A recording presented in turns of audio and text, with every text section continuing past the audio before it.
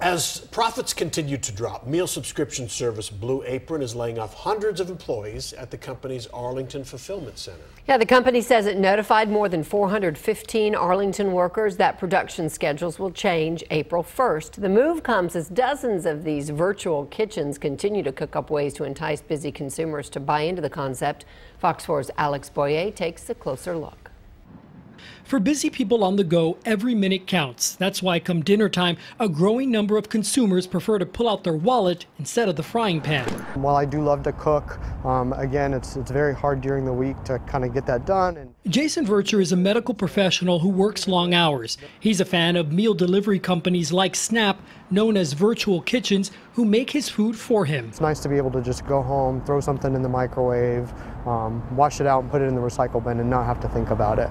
And for the virtual kitchens, there is a convenience component to it. According to public data, roughly 27% of Americans have used the meal delivery program since its introduction in 2012.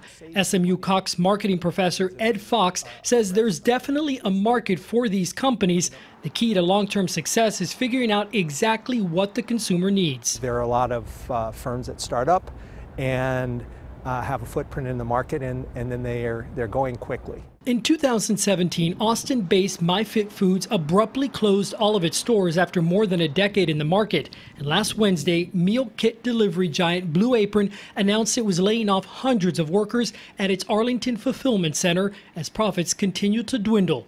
Blue Apron provides the ingredients, but the consumer still has to cook. So you're spending the time cooking, but not the time shopping.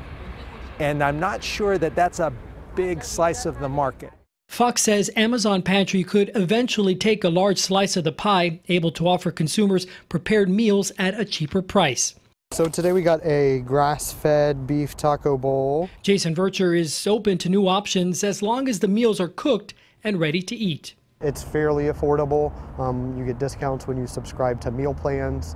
Um, so, you know, for me, it's definitely an ongoing option. My favorite is the turkey chili. Alex Boyer, Fox 4 News.